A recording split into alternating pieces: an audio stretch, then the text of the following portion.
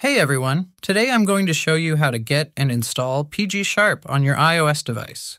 PG Sharp is an amazing tool for Pokemon Go players, packed with features like teleport, a joystick for character control, and much more. I'll walk you through each step of the process, so be sure to watch the video until the end to catch all the important details. Grab your device, follow along, and let's get started. Before we get started, let's go through a couple of essential steps. First, open your device settings and go to General.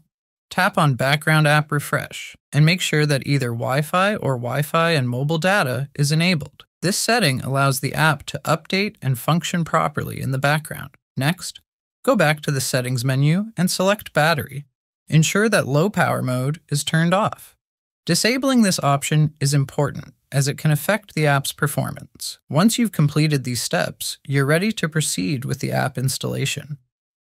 Let's get started. Once you have completed the initial checks, we can proceed.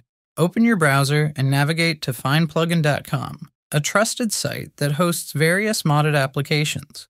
Search for PG Sharp and select it from the results. A detailed page will appear with information such as the number of downloads and community ratings.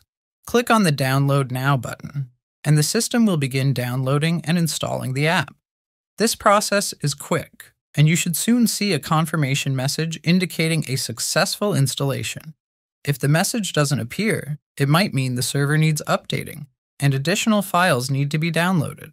Don't worry, this step is straightforward, with clear instructions provided on the screen. Once this step is completed, the system will download the necessary files and the installation will be finalized. I've already installed it myself, and everything works seamlessly. And that's all there is to it.